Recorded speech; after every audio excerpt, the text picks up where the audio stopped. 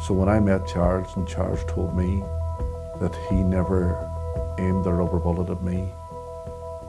and in fact he didn't even see me, I told him I accept that because that's what he's telling me.